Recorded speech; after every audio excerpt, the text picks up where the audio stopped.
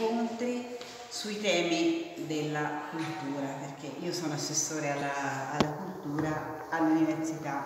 e alla ricerca. Allora, i temi che abbiamo focalizzato maggiormente questa mattina, che sono quelli che erano emersi dal primo incontro che abbiamo fatto con eh, tutti gli assessori con tutti gli assessori della, dei comuni dell'Elba e questo l'abbiamo fatto all'Elba Book Festival a, a, luglio. I temi appunto su cui concentrarci in questo incontro erano quelli delle biblioteche e quelli della, eh, dei musei.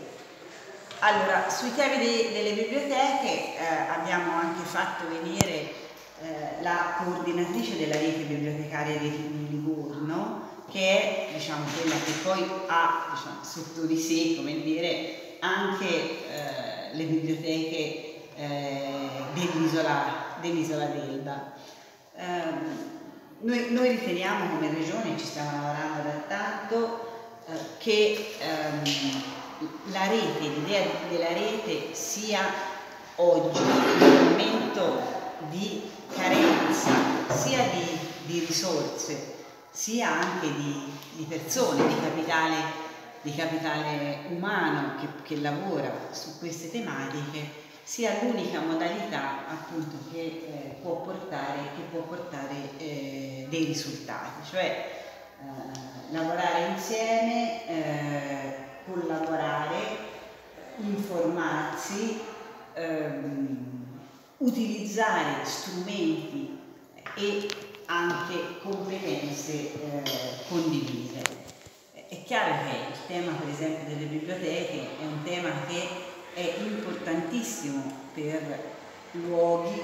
come l'isola d'Elba e tutti, tutte le sue eh, località perché la biblioteca, eh, come è emerso chiaramente anche stamani, è diventata, è, è,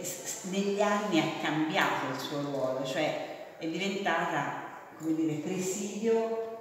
sì di cultura, ma anche presidio di, di socialità, di socializzazione.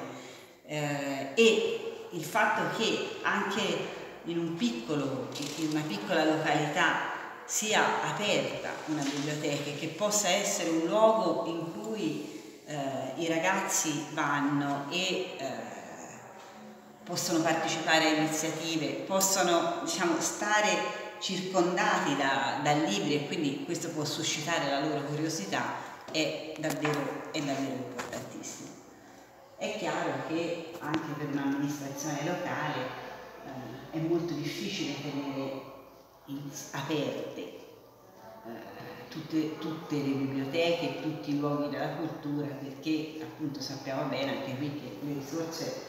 eh, sono poche così come molto poco è il capitale, è il capitale umano. Allora, se però ci si mette in rete, se